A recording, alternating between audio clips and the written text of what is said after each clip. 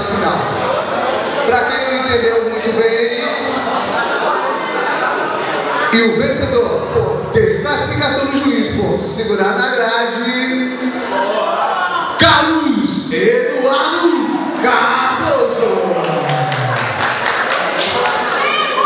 Para quem não entendeu muito bem, o atleta foi advertido mais de três vezes, né, Bruno? Por segurar na grade, ele persistiu e o juiz tomou